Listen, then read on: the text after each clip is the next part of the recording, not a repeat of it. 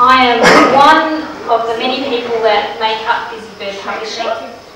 Um, everyone who has anything to do with Busybird is either a writer or an editor or an artist poet of, of some kind. And we have quite a few of our team here tonight, which is fantastic. We have some new faces tonight, which is also great. Um, and tonight is our 21st birthday.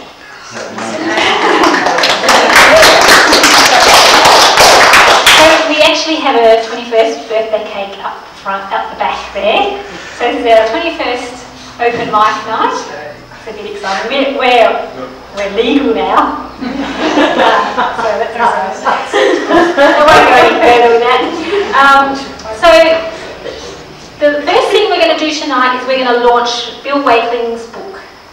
And here it is. this is actually book two called The uh, Kremlin Connection. I met Bill mm, maybe three or four years ago now when he had his first book out uh, when I was working at the library. So it's quite a, a way back. I don't know how you found me again when I came here. Did you follow me? and they told me where you were. Oh, okay, cool. I said, I want to talk to that lady. Uh, so um, I'm going to get Bill up here in a minute. We're going to give him a bit longer than everyone else, but everyone who has their name on the list, I don't necessarily go in the order. It depends on whether it, what sort of piece you have. But can we keep it to roughly five minutes, please? Uh, Les is going to be timer up the back, so he's going to actually ding a bell at five minutes. Doesn't mean you have to stop talking straight away. um, you know, you can finish a sentence or, or whatever, but um, just means that everyone sort of has. Um, who's giggling up the back? I can't see anybody, but someone's giggling. I think because it's our 21st, someone's had a bit too much beer, maybe. Um, She's still doing it. so, um, yes, we're, five minutes, please. We're going to give um, Bill 15-ish minutes. Um, unless we boo him off the stage. No, That's we quite won't. possible. quite possible. So, um, welcome Bill Wakeling.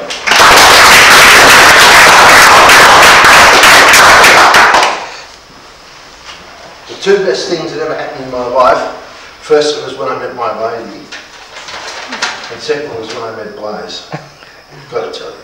I want to start with um, a trip I had up to the North Coast about three weeks ago. Sorry? green. The green. Oh, good. I had a trip up north to the North Coast about three weeks ago, and I, I had a bit of time with my brother, and uh, he's now put together about three three books, two novels, and a collection of short stories.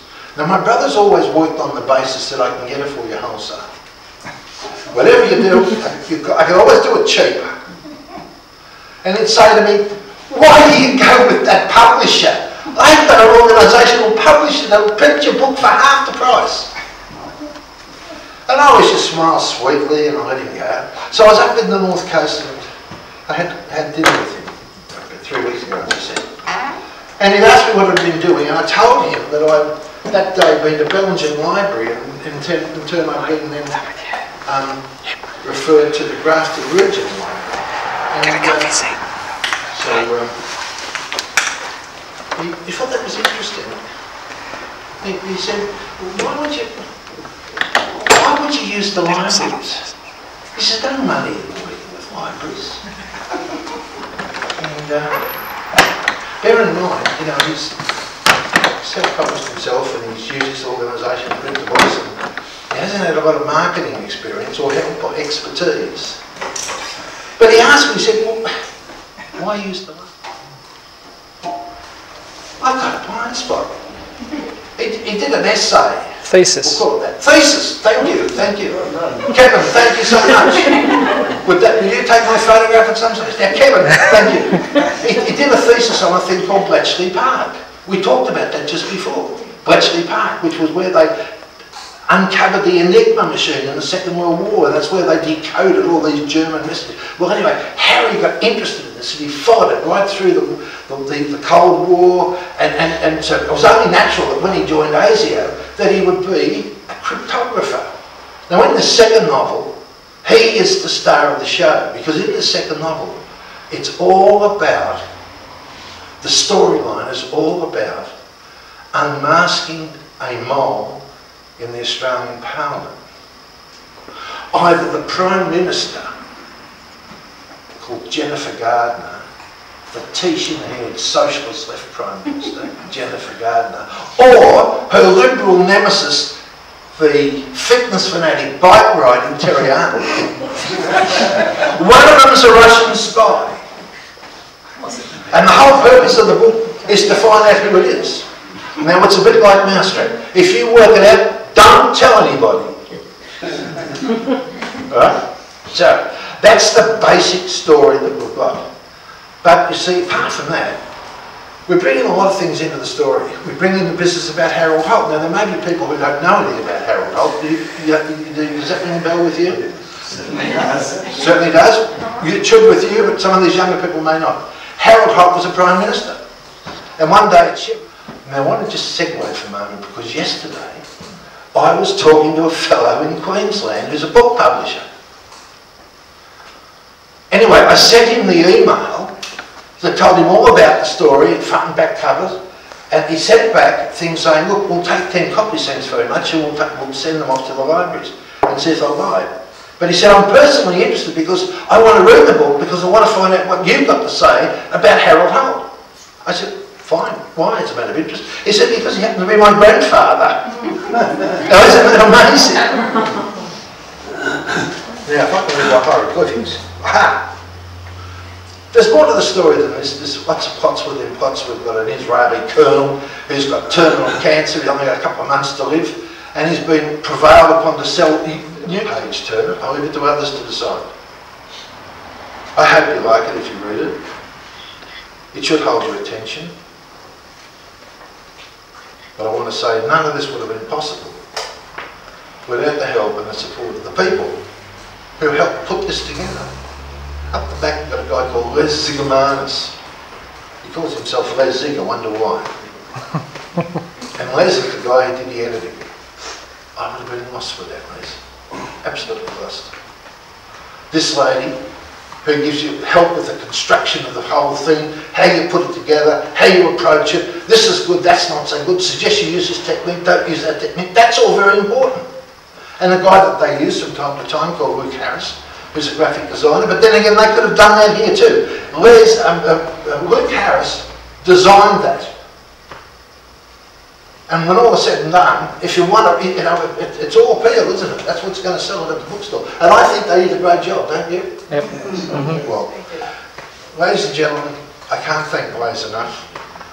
If you're ever going to publish a novel, if you've ever given any consideration, or will give consideration to publish a novel, come and talk to Les. Know, she's, she's not Penguin. She's not uh, some of the big publishers around, but she's good at what she does. I hope you read the book. I hope you'll enjoy it, I'll be happy to sign it for you. Wise, thank you so much.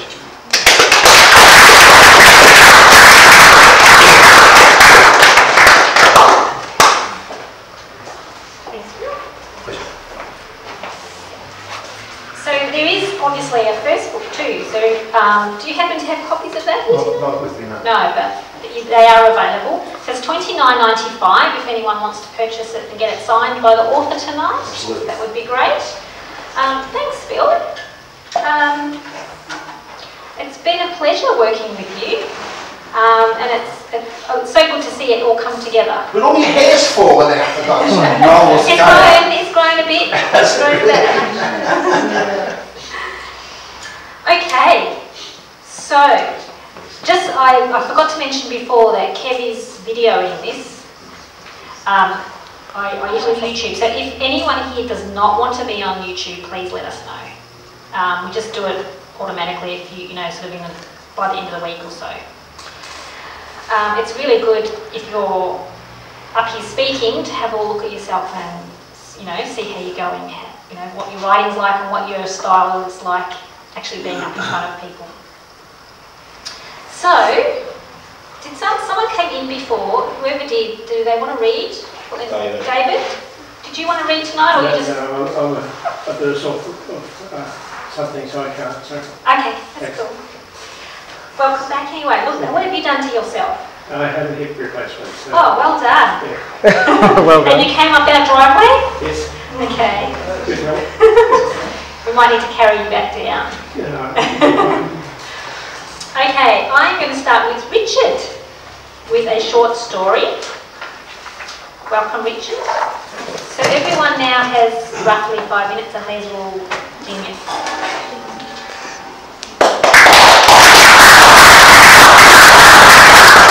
Thanks, Dave. Um, his son, unlucky bugger, has got to follow Bill, and it's my put my name down second, third, or fourth.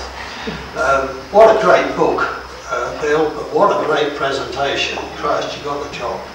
Anyway, I'm going to tell you my little tale about Anzac Day, my first Anzac Day, because it is coming up to then.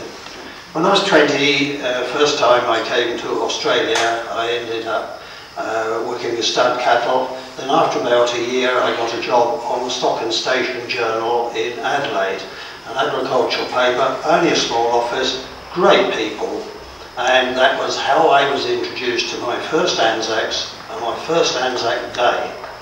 And this is my tale. Baz said to meet in the pub just down the road from the newspaper office.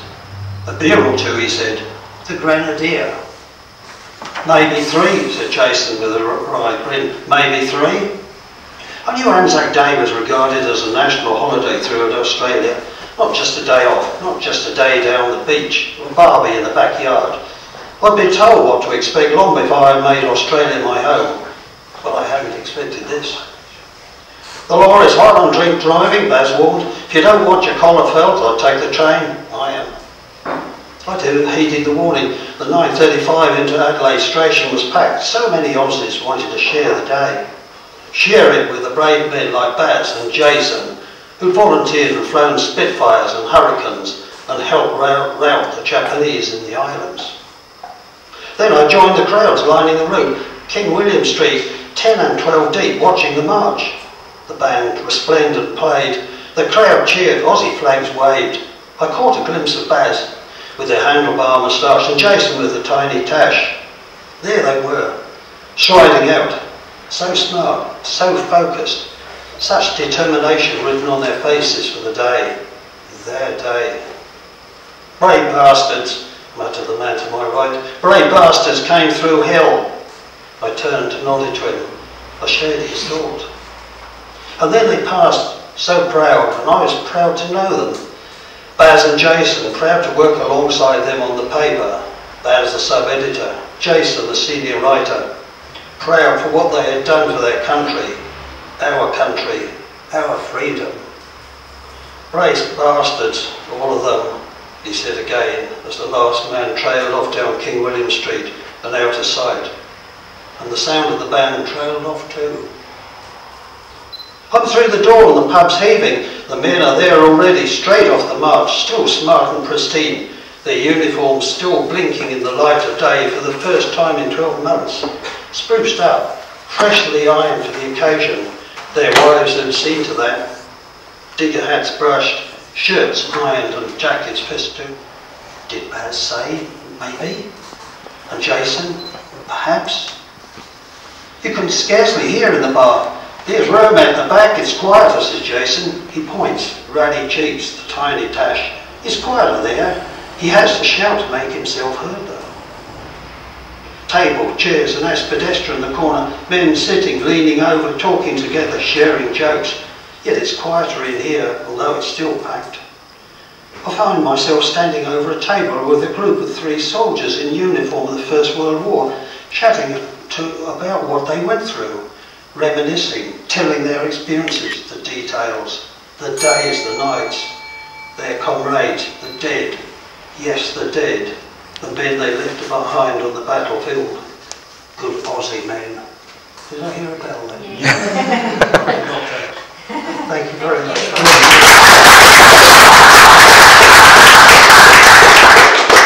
Thanks, Richard. Very appropriate story for um, anniversary next That's one, another night I can finish it. Yes, definitely.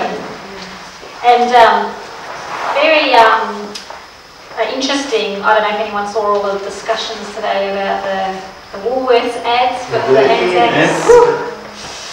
Someone's going to be in trouble. Um, bit of a change of pace now, Melissa. Melissa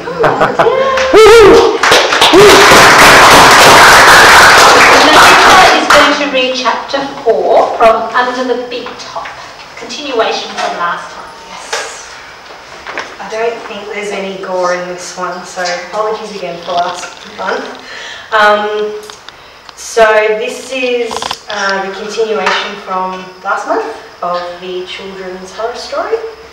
Uh, so at this point, Janet and her twin brother Paul and their mum have just made it to the circus. As they got closer to the tent, Janet saw a statue in front of the main entrance. She quickened her steps to catch up with Mum and Paul. Paul nudged her shoulder. See that? he said, pointing to the statue as they got closer. Janet nodded. Her head still throbbed and she briefly rubbed the side of one temple. The three of them stopped, looking at the figure on the tiny platform before them. It was an old woman holding what looked like a bag of fairy floss. Janet quickly realised it was the small dog from the poster she'd seen at the bus stop only days ago. It was the hot pink poodle. It was snarling like in the photo. Instead, sorry, it wasn't snarling like in the photo. Instead, it sat patiently in the woman's arms. Sorry, she said, looking at her children amused. We thought you were a statue. I hope we didn't offend you. As if a secret command had been given, the pink poodle came to life, barked and sneered, bearing yellow stained teeth to all of them. The old woman held it in a vice-like grip as the pink fluffy rat squirmed and wriggled, desperate to launch out of her arms and attack the new arrivals. Janet gulped as its beady black eyes zoned in on her. She moved closer to Mum, with Paul right behind her. Mum smiled. Are we the first to arrive? she asked, trying to shrug the kids off. You are the last to arrive, actually, the old woman replied, her face still void of emotion. As the show is just about to start, you can hand your tickets in upon leaving. Is it just the three of you? she asked, looking at them, her tone slightly softer. Yes, just us three, Mum replied, her smile still plastered onto her face. My husband was meant to come, but he had work, and Janet looked at her mother. Why was she blubbering about Dad? Janet wished her father was there. He would have taken one look at this scary old crone and her feral dog and declared he'd seen enough. There was an awkward silence between the four of them. You may proceed inside, the woman said, impatience now in her voice. Just wait in the foyer. Hunter will take you to your seats. Thank you, Mum said, walking towards the black curtain, unfazed by the woman and whatever could be on the other side of the material. Janet leaned in towards Paul. Still want to be here, she whispered, her voice laced with authority that held an edge of panic.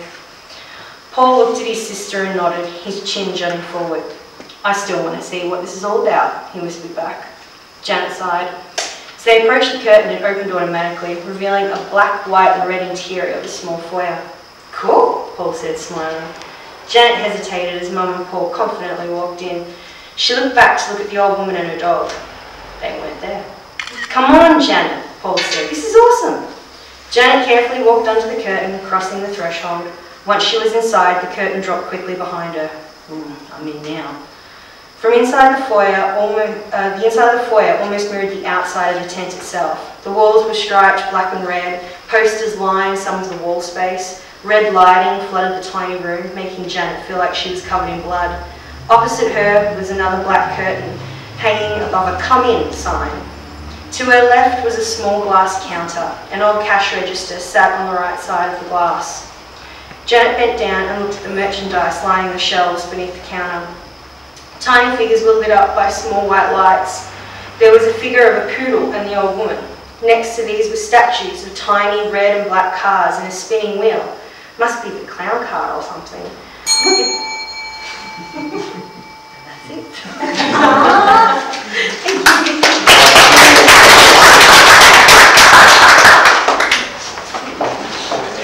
Thanks, Melissa. Les, can I get you to come up here, please? I want you to.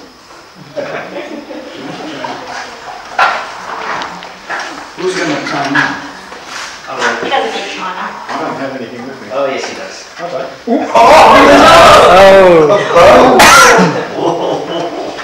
now, um, the very first Busybird started. Busybird has been around a long time, but we started publishing. Um, we had one item, and that was um, Untitled. Now, Untitled actually came about because of Les. It's totally his fault. um, so this is an anthology that we produce once a year of, full of short stories. So this is one of our own titles that we actually publish. So this is a traditional publishing um, item, product, product if you like. Um, and anyone who knows anything about Busybird knows that Les is our publications manager and he is actually the best uh, structural editor in the country, I think. Um, but I just wanted to share some news. Les is probably going to kill me. But He is now. he might be a fantastic editor, but he's an even better writer and he has lots of novels that are ready to go out into the world. And this, well, last week, he actually was signed up with Sally Bird Literary Agent. Literary agent. So, sorry? It's called Calder's Literary Agency. Yeah, but Sally Bird. So um, I want to say congratulations.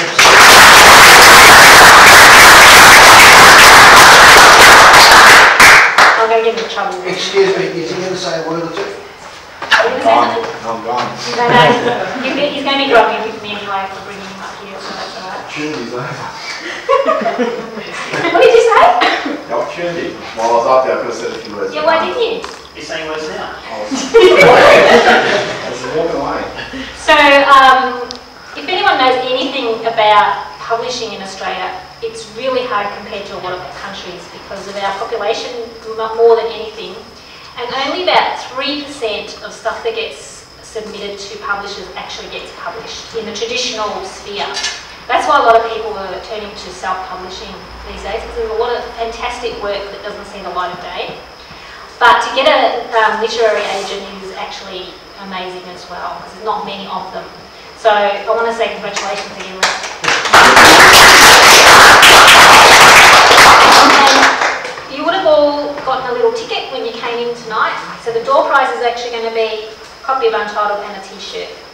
So keep your ticket handy for when that comes up. Did you pay, pay to come in? Oh, hell no, not that. Ticket. So you, Melissa will give you a ticket. Um, Where do you pay? Well, we'll take IOU. um, Siobhan, would you like to come up to the front, please? Siobhan is going to read a non-fiction piece called My Greatest Fear. And model the t-shirt you could be winning. Oh, wow. So does anybody want my ticket? Because I don't actually need it anymore. I You get it. think I already have that one. I'll have the ticket. Yes. You'll buy the ticket. Okay, um, this is something I wrote while discussing death with my family, so yeah. Apologies. yeah. Um, okay, so yeah. Uh, my greatest fear in life is that I'll die with no regret. Just one. Just one will be enough to have me forevermore haunt the world of the living. Just one will have enough power to keep my soul forever floating in limbo, unable to see my family, unable to walk the afterlife with my family and friends I so dearly miss, unable to return to the ones I love walking the path to death. They'll meet me eventually. They'll meet me when it's their time. But not if I'm bound here while they move past me and I'm forever lost here, circling the world of the living. I fear that when I die, I won't have done everything.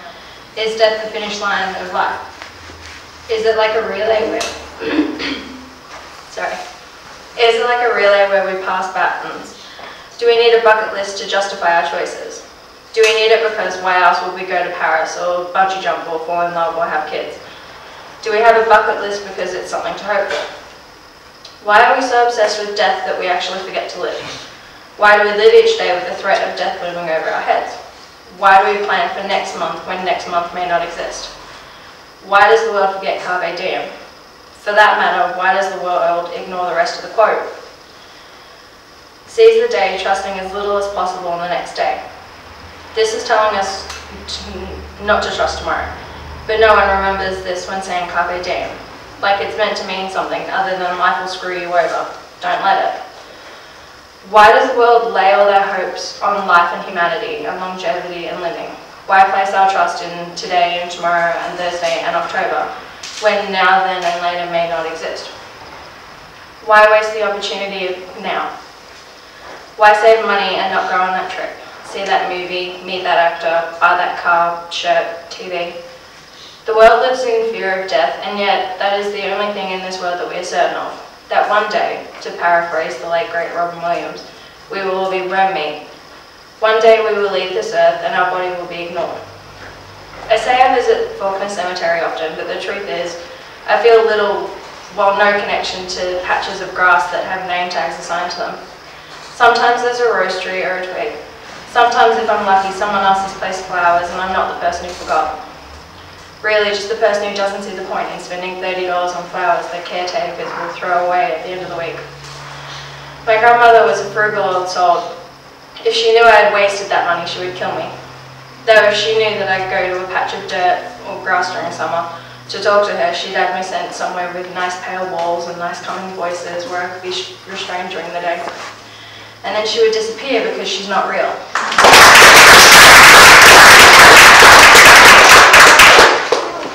Thanks, Ross. I don't know if I've, I've spoken about the book that we're working on at the moment, um, which is the autobiography of Joffa. Does anyone know who Joffa is? Yep. Yeah? So Joffa is the head of the, um, love him or hate him, some people think he's a bogan, but if you actually get to know Joffa, he's a pretty amazing guy. He's actually the, the head of the cheer squad of Collingwood. Now, I'm not a football person myself, but there's a Kev have arguments about football, and I half listen. You lost, didn't you? so, Kevin, Uh, I won the bet. So anyway, we're doing the biography, or Joffa's doing his biography, and we're going to be publishing it in a couple of months. And we're very excited to have Father Bob Maguire to launch it. So this will be in June. Um, so the book is very close to being ready for um, production. It's almost finished with the editing. Um, so sort of watch this space about that because we're quite excited about that project. Um, and um, some of the proceeds from the book will go to epilepsy because Joffa's daughter has epilepsy. Uh, okay, we've got a newbie tonight called Angus. Angus is going to read a short story and um, it's great to have you. Welcome. Hey guys, so I'm Angus Watson. Um, I don't have much of a backstory, but a friend of mine once went through a really hard time, and I thought I'd put it to words, and this is how he explained it to me. It's called the forest. Used to be the same as others. You once thought and felt the same as others. You once dreamt and believed the same as others. You were once alive, but not now. Now, you live in the forest, all by yourself. In this forest, one loses a sense of time and purpose. Here, the mind becomes separated from the soul. Naturally, some would be euphoric to possess an entire forest to themselves and use such as a retreat from the world. But this is no ordinary forest. It is cruel and unforgiving in every sense. The sky above has, not, has always been as black as coal and exists absent hope of light. The clouds that litter it cannot be seen, but the perpetual rain which falls from them is keenly felt. The countless trees and their piercing branches forming the forest would make any normal person feel intimidated, but after all the time you've spent here, you've grown numb to the pain. The rough ground beneath your feet is compiled of fallen limbs, sand, and mud. Every step you take with your bare feet swells with shame and remorse. Some would be euphoric to possess an entire forest without any aid. You cannot stay here. There is no help. What can you do? Nearby stones scramble in fear, incapable of retreat. With this decision, you feel something's building up, like droplets of water eventually forming a cascading flood. But in this forest, there is no flood, only the beast. The creatures born of a fever dream, with incredible height and colossal horns, frightening trees to fell themselves. The beast's strength and speed outmatches that of any man. With each moment that passes by in this forest, with every step and every breath, the beast edges closer, with inevitable confrontation. Malevolent and corrupting, it is something to be greatly feared. Pools of foul water lash out from restricted dirt to dirt. You cannot stay in this forest. Futility is thick in the air, pain is mandatory, and the beast constantly hunts you. You ponder to yourself, what can I do? You could run. Run, th- run, run, with- run from the beast and escape its grasp. But realistically, how long would that last? You could continue your way of life and give in, allow temptation and torment to defeat you and embrace its talons. You would be surrendering all you've ever known and any possibility of a future. Everything would go over. Or you could fight. You smirk slightly to yourself. The word sounds foreign as it sparks a small sense of necessity within your soul. You could confront fears and nightmares alike and resist death for a while longer. Branches fall from peak perches, crashing and colliding on their way. You need no time in deciding future nightmares. You see the soul of the very monster you now face, and you feel empathy. The beast releases a mighty, a mighty roar, shattering the sky into tearful exasperation. This malicious exhibition flares the forest around you into nothing short of an overwhelming tempest. Trees tear from deepest roots, mud and rock crashes, the forest utterly ravaged. All quake before this creature. Save one. You. Instead of withdrawing, you step forward. No. The tempest begins to recede as the beast peers at you, no longer thundering. No more. The beast is initially shocked and prepares to reverberate, yet something prevents it. Grasping its chest in a grimace as words are a flaming spear, the shrieking figure plunges into pain. No more, no more, you repeat. The beast screams and cries in agony as fire spills from weeping wounds, cursing along the remaining plantation. An inferno rages, uh, an inferno rages, yet you stand idle in awe. The salient image of the, of the perturbing and eternal burning is only broken by the unprecedented. The sun. The flaming celestial body the flaming celestial body is a miracle from the fantasy. That first ray caressing you, it's passionate and it's fierce. It's soothing yet invigorating. It speaks to you, whispering of past, of past endeavours and future victory. But as you stand to the beams of light, you can't help but feel dread. For today the beast was defeated and the forest escaped. But what of tomorrow? Tomorrow, will you continue to fight and vote? Can you fight and vote? Or will you finally submit to superior oppression? Will the beasts, of tomorrow, beasts and forests of tomorrow subjugate and plunge you to the errand? Such trials will fall upon you and you, you alone. I honestly don't know you and what you're capable of. All I know is the beasts and forests I face will forever be present and shall forever burn.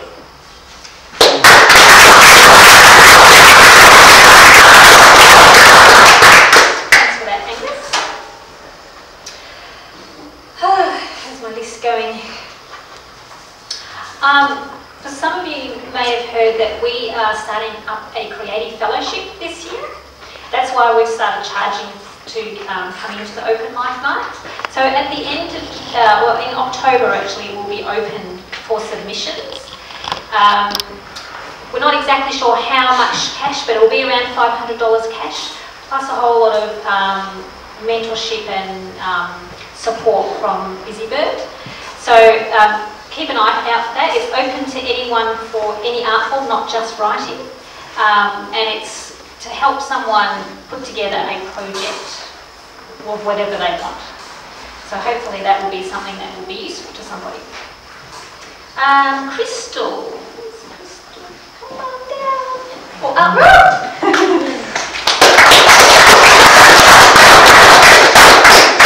Crystal is going to give us some poetry.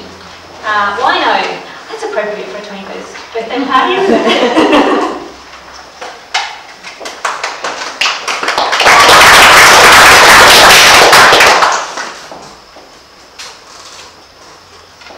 I had thought by now that I would be able to differentiate between good wine and bad. Had thought by now that I would no longer have to tally up copper, copper nickel plated coins just to avoid holes in my wasted lungs. A stranger passing by yells, why don't you just light a $20 bill on fire and suck back on that? I tell her, the same reason you ornament yourself in cork wedge heels and $60 Siddhartha Gautama t-shirts. Because sometimes it can be hard, this breathing just for one. Tonight she will fix her legs into a crucifix for the first man who says he would die for her sins. And I, I will walk the fluorescent aisles of an after-hours bottle shop, still unenlightened by the disparity between a good drop and a bad.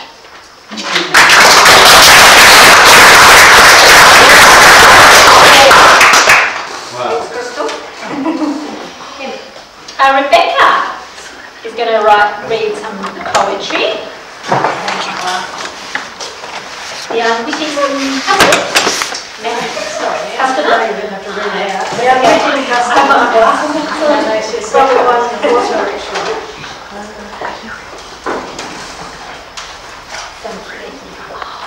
So in, um, it's my first time.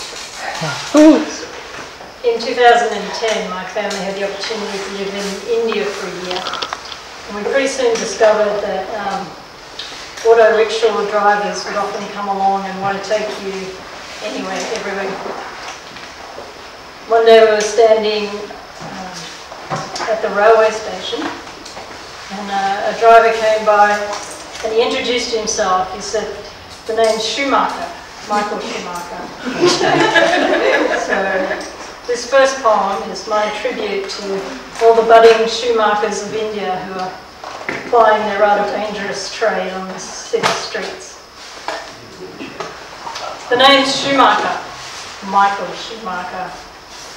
This is our cue to flee, but slow of wit, we climb aboard amiably. Two-stroke engine, guns to life. Coloured lights start to flash on and off across the dash. Doof doof music turned up loud. Eyes a dazzle, heads a rattle. We surge forth fearlessly into battle. There is no gap he can't find. Schumacher is to trouble born, one hand on the throttle, the other on the horn. A handcart laden with fruit sways our way. A child innocent on a testosterone wave, blinded by the flashing lights, doof doofing to an early grave. This is it, I'm sure of it. Bus, a lurching, belching bus. We can see it, but I'm certain it can't see us. Grimly, we prepare for impact. Schumacher brakes hard, comes to a halt that is jarring. Then he turns to us with a smile that is charming. Sir, madam, your destination. And the second poem.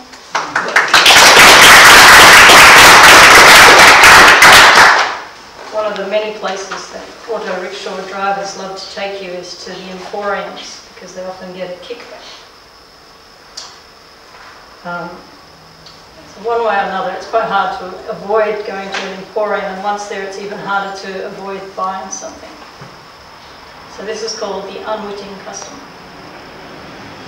Traditional handicrafts emporium. A salesman swings open the door. Madam, first lucky customer of the day. She steps into the dimness, triggering an enthusiasm which flicks a switch, which floodlights a room, which, Madam, would you like tea or coffee? Neither. She flinches, backs away. I was just looking. The man nods to a woman behind him who nods to a woman behind her who nods. A cup of sweet milky tea arrives. Now, how can we help you? Chilling. Madam sits down her cup. My husband is wait. Oh, the man's ecstatic. Your husband. A shirt, maybe. He lifts shirts from the shelf. Madam, would you like one or two? None. One? But what about your son, of whom you are very proud? I don't have a son. Oh, madam, very sorry. your father. You must be buying one for your father who raised you. My father's dead. Madam, so very, very sorry. There are no words, not even one. Man shakes his head. Something then for your poor, poor mother. Embroidered shawls appear. Man is joyous. Pure, 100% wool. Feel. Madam, It's great to have some new people here tonight, and it's always a bit daunting, I think, when um, people come to a place they haven't been and actually get up in front of people. So well done to the newbies tonight good. Uh, Jeannie. Jeannie's going to read a non-fiction piece called For Henry. Welcome.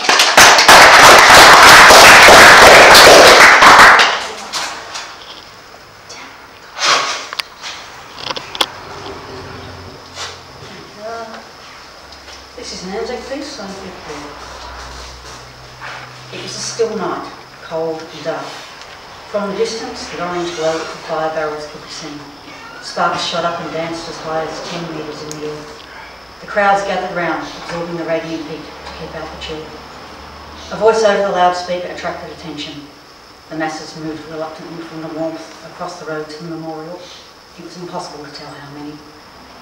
There was silence as the catafalque party marched along their path, their steps so measured that they sounded as only one pair of boots treading ground. Instructions at a whisper carried across the still air.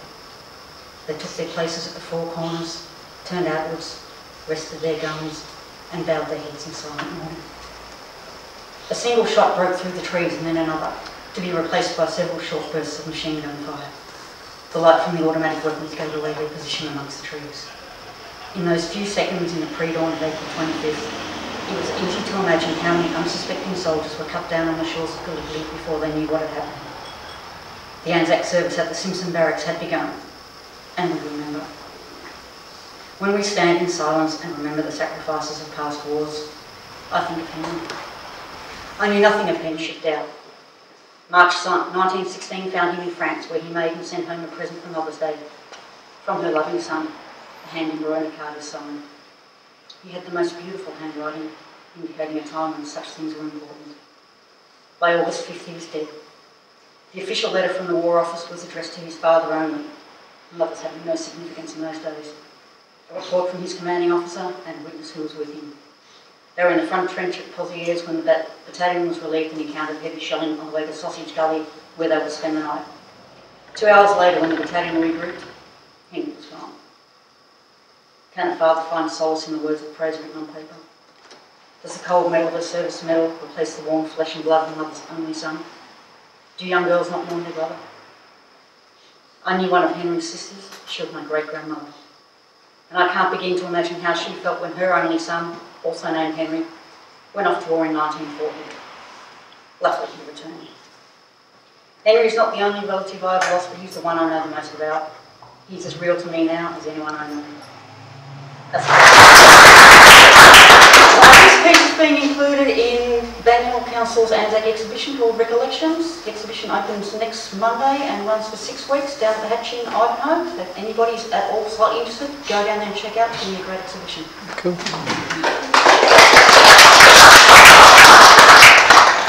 If if anyone doesn't know where the Hatch um, building is, it's behind the Ivanhoe Library. There's like a little side Narrow street. Street, or in the, in the Yeah. corner. The yellow building right in the parade. Yeah, and down it's a great exhibition space actually. Called the Allen Art Centre, before that was the Allen Reception. Yeah. Okay, um, just, um, there's a, up on the table is a, um, like a mailing list. So if anyone here isn't on our mailing list and um, doesn't get our newsletters, feel free to put your email address down. We don't bombard you with emails, we just send out a newsletter once a month just to keep everyone up to date with what's happening, like open mic night or any other like workshops and stuff. Um, we do run workshops here, um, writing and photography mainly, and there is a little program up on that table as well. So, lucky last reader is Marcello. Now, Marcello's work is on the walls tonight. This is um, being exhibited for the next month. Um, and uh, there's information up the back there about this exhibition. This is all new work from Marcello.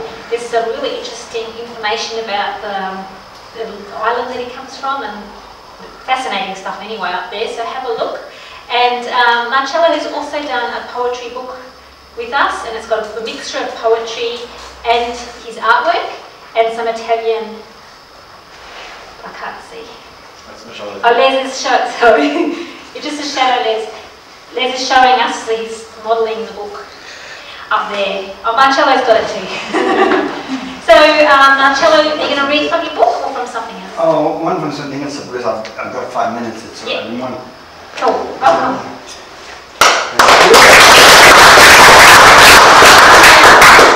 Excellent. Some, uh, what's come before from uh, William to the last one, of what I mean. There's so much that I can relate with. Mm. Last but not least, having the exhibition at the Banyule. I'm still involved in the Banyule in one of the cultural groups. But that art space before was called the Hench, was called the Armonite. I was my exhibiting gallery. I exhibited there for 10 years straight until one day I stumbled across Busybird three years ago. And that was the end of, of me. Good end.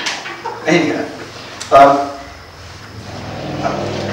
13 years ago, I was in the, in the islands, of fact, was in one of well, just having this huge party, they had a cake for 200 people in, for me because I'd come back and they had the brass band that picked me up at the, at, at the port and uh, we had this cake of about 400 people.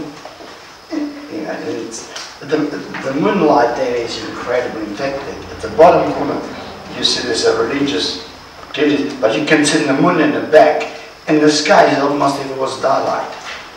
And you get that eerie feeling. You know, so I come up with this little poem, and it's called To You, O Muse. I brought a ray of sunshine for you, but the moon, as jealous as ever, would not let me to take it, would not let it take it away with me. So live in a room of darkness, searching in vain for you, wondering if it did happen, if ever it was true. So I bought a ray of sunshine. I bought it only for us. And the moon smiling at me saying, Stupid! Yes, it was true.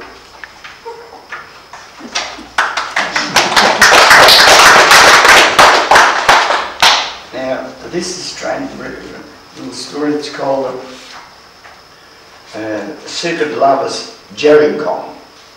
Gerringong is a little place in the uh, New South Wales coast in the south. And in the early 60s, I belonged to a, a group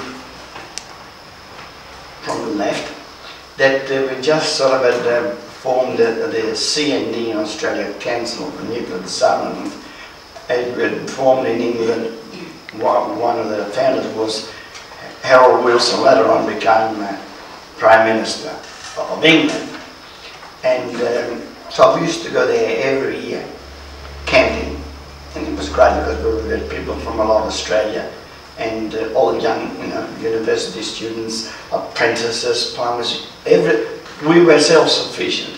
But whenever came that time, so the, the local people, the farmers, weren't too happy about us going there. But anyway, it's another story. At the same time, something was happening in Canada. Because the American draft dodgers didn't want to go to Vietnam. They hopped across from Vancouver. He, he was a, a deputy uh, prime minister of Australia. Was the only. Sorry, I'm taking my time. The, the only treasurer who never presented a budget, and uh, he, I think he, he was one of the first news that really of uh, it might not bounce it, but he, he died. And then not long ago, also one of their friends, Tommy Uren, passed away. He was also a Labour minister, Tommy Uren from Queensland. He was one of ours, one of our friends. He was like the patron. Anyway, so it's Anonymous Lovers at Gerringong Beach. The paths crossed one afternoon on a secluded Gerringong Beach. The moon and stars shining bright. Together, they shared the night. That my passionate love from dark to light in the shed that he built. At dawn wrapped their naked bodies with a well-worn army blanket, as she had done with others before. She threw it on the golden sand as they ran to the ocean waters to purify the flesh.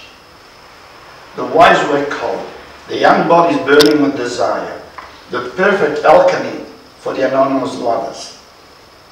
She laughed and said, I must go now. He put his arms around her, pressing on the erect breasts, and kissed her sensuous lips. One more time he wrapped the blanket around him. She shouted with joy, I want to stay here forever. Happily start running back to the hut to build the breakfast fire.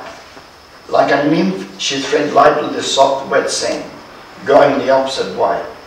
A long dark hair floating in the wind, whistling like the Aeolian flute. On the horizon appeared a young man, wrapped in a shining bright new red blanket. Now the shack is a very cold place for the lonely young men. They did not know her name.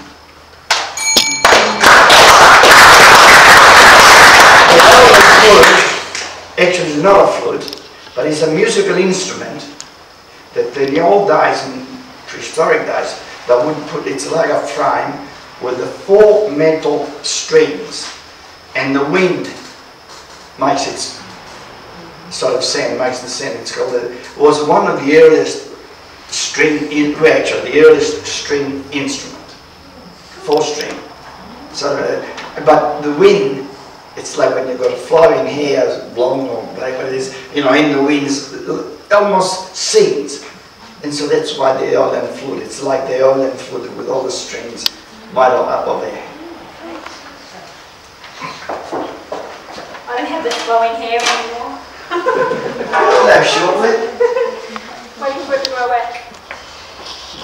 Uh, has anyone got anything? Have I missed anything, Les? No. Do you want to say anything? Does anyone want to say anything? Anyone got anything exciting happening they want to tell us about? Anyone bringing out a book, doing an exhibition, anything like that? No? Okay, cool.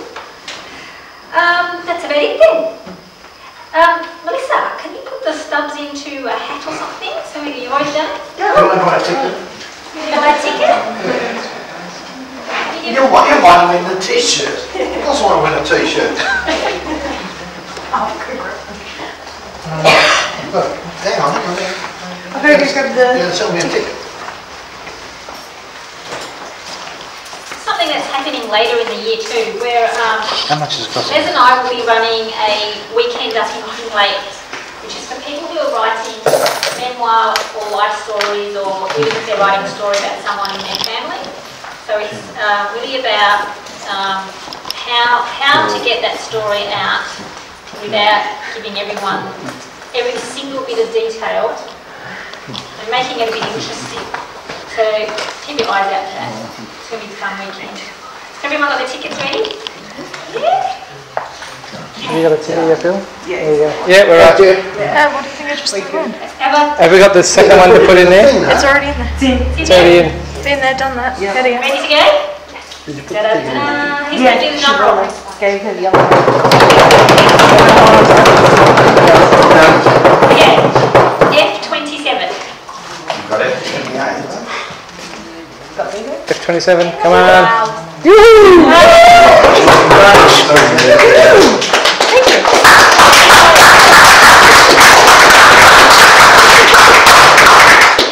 Oh, there's something else uh, someone asked me to let people know about. There's a Roaring Twenties Great Gatsby style event on across the road at Montmorency College. It's a fundraiser. Uh, it is in aid of the Domini- Dominican Sister Orphanage in East Timor. Uh, it's a three-course buffet meal with mocktails on arrival. Uh, you can BYO drinks. Uh, and there's Charleston tuition and a competition.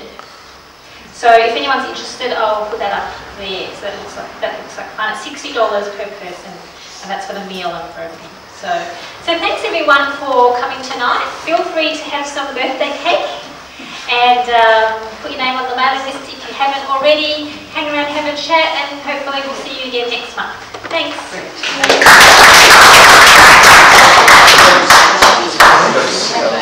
I don't think the cake is big enough for everyone. yes,